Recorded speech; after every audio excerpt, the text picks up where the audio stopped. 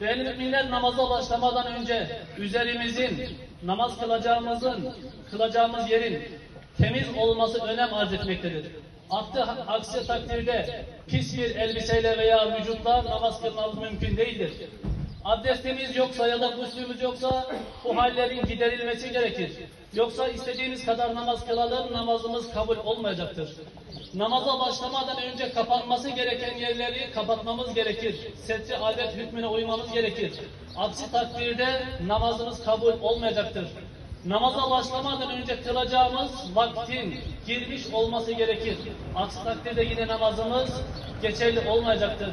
Namaza başlamadan önce hangi namazı kılıyor isek o namaza niyet etmemiz gerekir ki ne yaptığımız ibadetimizi bilelim.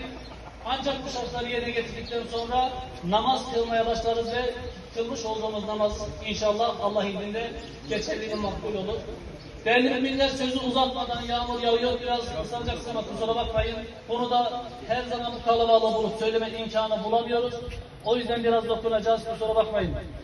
Değerli müminler bu kutsal yolculuğa gitti, gitmeden önce de yapmamız gereken en önemli şey nasuh bir tövbe ile, samimi bir tövbe ile tövbe edip günahlarımızdan pişmanlık duyup bir daha o günahlara dönmemek üzere Rabbimize söz vermek olacaktır.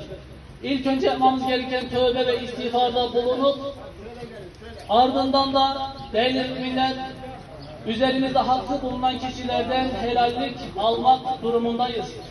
Kul hakkından kurtulmadan, helallik almadan Kabe'ye gidip gelmekle bütün günahlarımızdan kurtulmamız mümkün değildir değerli müminler.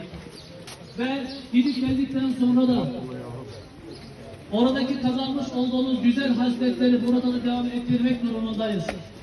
Mübarek yerlere gidip geldikten sonra bu hakkı yemeye, bankalardan kredi kuyruğuna geçmeye, komşumuzla, eşimizle, dostumuzla kötü geçinmeye gayret edersek, çevremizde, köyümüzde bulunan kamu mallarına zarar vermeye, kendi üzerimize geçirmeye gayret edersek, bazı din düşmanları ya da dinimizi sulandırmaya çalışan kişilerden şunu duyuyoruz. Aklınıza sığınarak söylüyorum, bunu çok yerde duydum. Eğer diyor, yavurluk yapmayı öğrenmek istiyorsan hacca gidip geleceksin diyor. Adam. Niye bunu söyledim ki? Hacca gidip gelip de günahlarına tövbe edip de oradan geldikten sonra aynı günahlara tövbe, et, e, e, tövbe etmemiş gibi, gün hacı olmamış gibi, sanki hiç namaz kılmamış gibi aynı günahlara devam eden kişiler bizim dinimizi sulandırmak isteyen kişilerin eline malzeme verir değerli müminler. Hacca gidip gitmiş geldi, milletin yocasını götürüyor.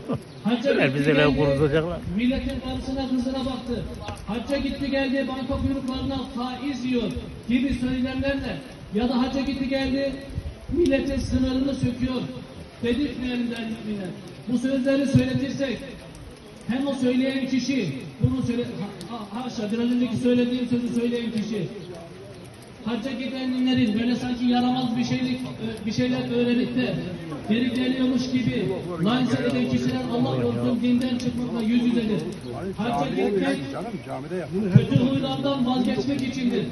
Yoksa oraya gidip de kötü huyları alıp gelmek gibi böyle bir şey asla söz konusu değildir. Böyle bir şeye de asla Olurdu canım o zaman etmeyelim, fırsat vermeyelim. Rabbim hayırlısıyla biraz gidip gelmeyi cümlemize nasip eylesin. Hocama bir bırakıyorum sözü. Yolun açık olsun. أعوذ بالله من الشيطان الرجيم بسم الله الرحمن الرحيم الحمد لله رب العالمين والصلاة والسلام على رسولنا محمد وعلى آله وصحبه أجمعين اللهم ربنا يا